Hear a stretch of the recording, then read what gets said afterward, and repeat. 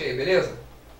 Bom, sou do explicador virtual e nós vamos continuar a nossa aula aqui de matemática.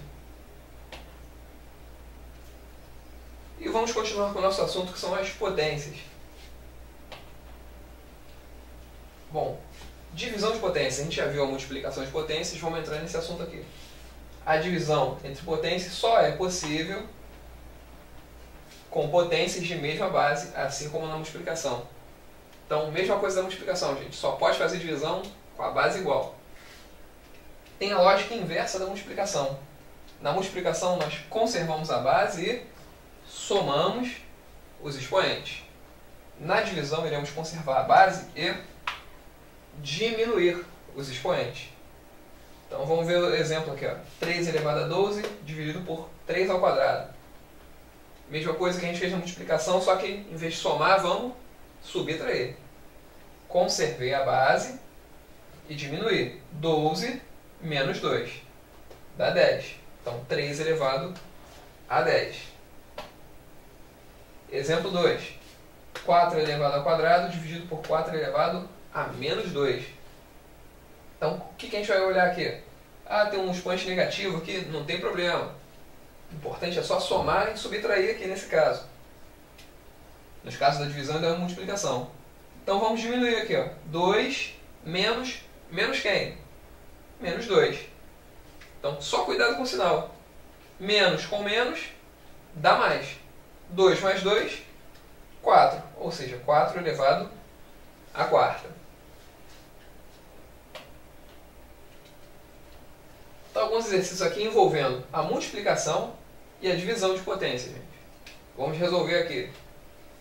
4 elevado a 30 vezes 4 elevado a 12. Como é que a gente resolve multiplicação, gente? Conservo a base, faço o que com os expoentes? Somo 30 mais 12, 42. Bem simples, gente, bem tranquilo. Então, 30 mais 12, estou botando só os expoentes ali. E o resultado é 4 elevado a 42. A base sempre vai ser a mesma na divisão e na multiplicação, gente. Letra B. 3, vezes 10, 3 elevado a 10 vezes 3 elevado ao quadrado vezes 3 elevado a 30. Então, tem o quê? Sempre as bases iguais. Então, o que, que eu faço? Só somo aqui os expoentes. 10 mais 2, 12 mais 30, 42. Então, sei que vai ser 3 elevado a 42. Tá aqui o nosso resultado. Agora, 2 elevado ao cubo vezes 2 elevado a 12 vezes 2 elevado a 20 vezes 2 elevado a menos 35. Tudo a base igual? Sim. Então, o que, a gente faz? Conserva a base e só soma os expoentes para saber qual vai ser o novo, nosso novo expoente. Tá aqui, ó, 3 mais 12 mais 20 mais menos 35. Então, 3 mais 12, 15 mais 20, 35. Mais com menos dá menos. 35, que dá isso aqui tudo. Menos 35 dá zero. Ou seja, 2 elevado a zero. Qualquer número elevado a zero eu sei que vai dar 1. Então essa conta inteira que a gente fez, no final só deu o quê? 1. Então não tem mistério, gente. Olhou a base é igual, só somar, só diminuir, dependendo do que você quiser. 5 ao cubo vezes 5 elevado a zero. A gente vai somar 3 mais 0, 3 mais 0 vai dar 3, ou seja, 5 elevado a 3. E uma coisa bem simples de a gente ver também é o seguinte, 5 elevado ao cubo vezes 5 elevado a zero. 5 elevado a zero é quanto, gente? Isso aqui na verdade não é 1? Qualquer número elevado a zero é 1.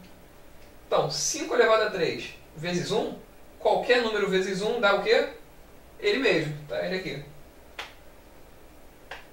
Então, de duas formas, de duas maneiras, a gente conseguiu chegar no mesmo resultado. Ou você multiplica isso por 1, ou multiplica, ou soma os expoentes. E ambos dão o mesmo resultado, dão certo. Aqui já tem uma divisão, gente. 4 elevado a 30 dividido por 4 elevado a 12.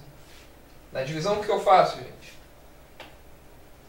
Conservo a base, vai ser um 4 aqui, Em cima vou diminuir 30 menos 12 e vai ser meu novo expoente.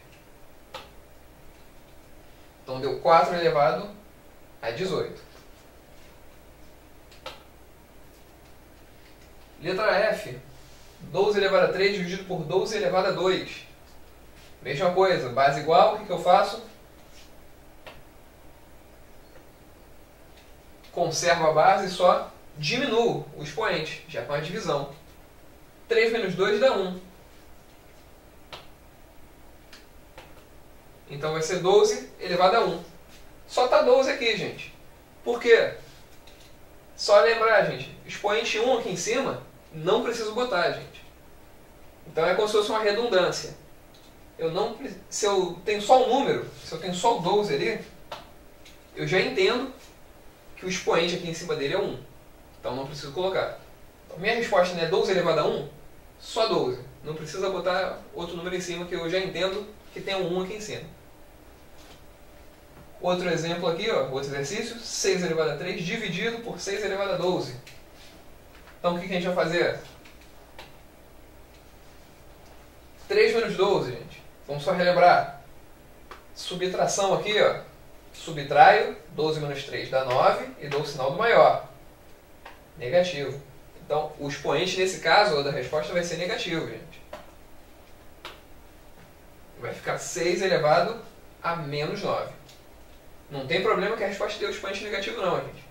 Tanto que a gente está vendo os outros exercícios, a gente nem está resolvendo a potência não. A gente só quer resolver essa divisão. Está deixando em forma de potência, não tem problema não. A gente não está ligando para isso, está ligando para resolver aquela operação ali. E na última letra, 3 elevado ao quadrado dividido por 4 elevado a 3. O que, que a gente faz? É uma divisão, a gente vai diminuir os expoentes ali? Claro que não. Então, não podemos resolver, gente. Por quê? Sempre observar isso aqui, gente. A base aqui não é igual. Então a gente não pode resolver. Então essa questão aí de divisão, gente, ou multiplicação, é bem tranquila essa parte porque vamos deixar só a base igual, só vamos mexer no expoente por conta de somar ou de diminuir. Então tem uma simplicidade maior nesses casos. Bom, galera, nós vamos ficar por aqui. Então até a próxima aula.